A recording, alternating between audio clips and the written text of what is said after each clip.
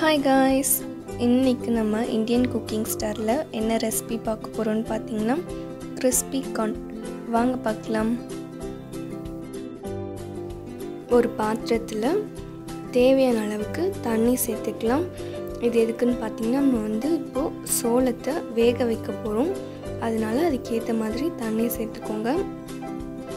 Next தேவையான அளவுக்கு உப்பு சேர்த்துக்கோங்க.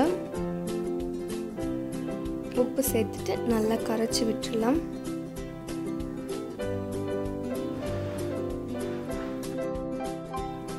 உப்பு சேர்த்தாச்சு. இப்போ வந்து இதை நல்லா கரைச்சிக்கலாம். கரைச்சிட்டு நெக்ஸ்ட்டு சோளத்தை சேர்த்துடலாம். இதுக்காக நான் வந்து ரெண்டு சோளம் எடுத்திருக்கேன். சோளத்தில் தனித்தனியாக ஒன்று ஒன்றா பிச்சு எடுத்துருங்க. எடுத்துட்டு ஒரு மூணு மணி நேரம் ஊற வச்சுருங்க. அப்போ நமக்கு வந்து வேகிறதுக்கு கொஞ்சம் ஈஸியாக இருக்கும்.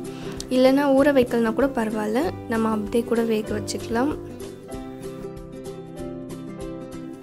வேக வைக்கும்போது பார்த்திங்கன்னா நல்லா சாஃப்டாக வேக வைங்க. ஆஃப் பாயிலிங்லாம் பண்ணாதீங்க. ஆஃப் பாயிலிங் பண்ணிங்கன்னா உங்களுக்கு வந்து ஃப்ரை பண்ணும்போது கொஞ்சம் ஹார்டாக இருக்கும். அதனால நல்லா ஃபுல் பாயில் பண்ணிக்கோங்க. நல்லா சோளம் சாஃப்ட் ஆகிற வரைக்கும் நல்லா பாயில் பண்ணி எடுத்துக்கோங்க. அப்போ தான் நம்ம வந்து ஃப்ரை பண்ணோன்னா நமக்கு நல்லா கிறிஸ்பியாக கிடைக்கும். இப்போ பார்த்திங்கன்னா நல்லா கொதிக்குது. இப்போது இது வந்து நல்லா வெந்துட்டோடனே நம்ம வந்து இதை ஃபில்டர் பண்ணி எடுத்துக்கலாம்.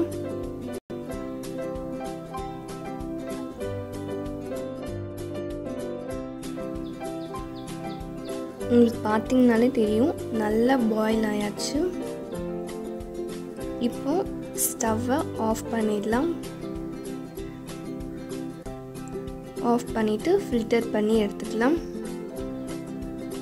அவ்வளோதான் வடி கட்டியாச்சு. இப்போ வந்து நம்ம ஃப்ரை பண்ண ரெடி பண்ணிடலாம்.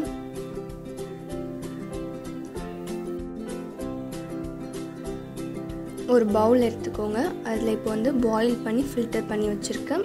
சோளத்தை ஆட் பண்ணிக்கோங்க. நெக்ஸ்ட்டு கால் கப் கார்ன்ஃப்ளவர் கால் கப் ரைஸ் பிளாட். தேவையான அளவுக்கு உப்பு சேர்த்துக்கலாம். உப்பு சேர்த்துட்டு நல்லா மிக்ஸ் பண்ணிடுங்க. நமக்கு வந்து இதுக்கு எக்ஸ்ட்ரா தண்ணி வேணும்னு அவசியம் இல்லை. சோளத்தில் இருக்க ஈரப்பதமே நமக்கு போதும். அப்படி உங்களுக்கு தண்ணி பத்தலைன்னா நீங்கள் வந்து லைட்டாக தேவையான அளவுக்கு மட்டும் தெளிச்சுக்கோங்க. நிறைய தெளிச்சிடாதீங்க. இப்போ இதை நல்லா கலந்துடலாம்.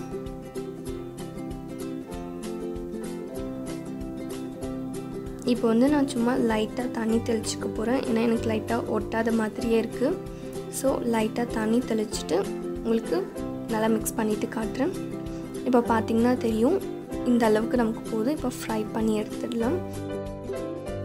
ஆயில் நல்லா ஹீட் ஆனோடனே நம்ம ரெடி பண்ணி வச்சுருக்க சோளத்தை சேர்த்து நல்லா ஃப்ரை பண்ணிடலாம். நல்லா டீப் ஃப்ரை பண்ணுங்கள் அப்போ தான் நமக்கு வந்து நல்லா கிறிஸ்பியாக கிடைக்கும்.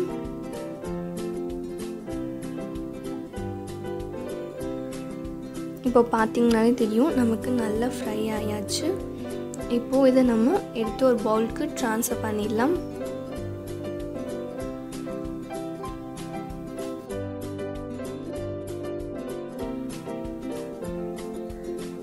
பவுலுக்கு மாற்றியாச்சு இப்போ வந்து இதுக்கு நம்ம கொஞ்சம் ஸ்பைசினஸ் கொடுக்கலாம்.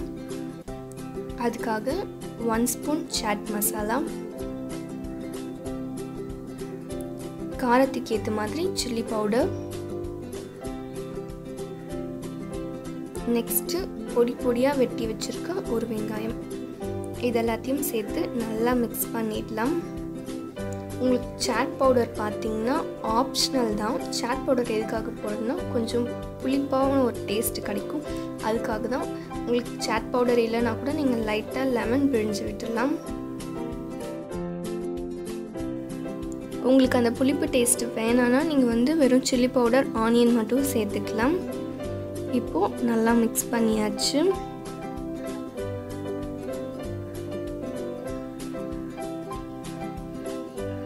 நெக்ஸ்ட்டு டெக்கருக்காக கொஞ்சமாக கொத்தமல்லி இலை வச்சுக்கலாம்.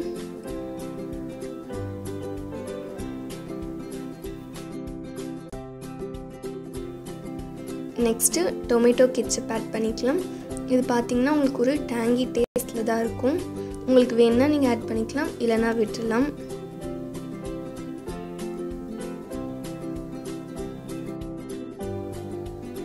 அவ்வளோதான். ரொம்பவே டேஸ்டியான கிறிஸ்பி கார்ன் ரெடி ஆயாச்சு. இந்த ரெசிப்பியை நீங்களும் ட்ரை பண்ணி பாருங்கள் ட்ரை பண்ணி பார்த்துட்டு உங்களோட கமெண்ட்டை கீழே கமெண்ட் செக்ஷனில் சொல்லுங்கள் இந்த வீடியோ பிடிச்சிருந்தா லைக் பண்ணிக்கோங்க ஷேர் பண்ணிக்கோங்க. கூடவே நம்ம சேனலையும் சப்ஸ்கிரைப் பண்ணிக்கோங்க. இதோட நெக்ஸ்ட் ஒரு சூப்பர் ரெசிபியில் நான் வந்து உங்களை பார்க்குறேன் அது வரைக்கும் பாய்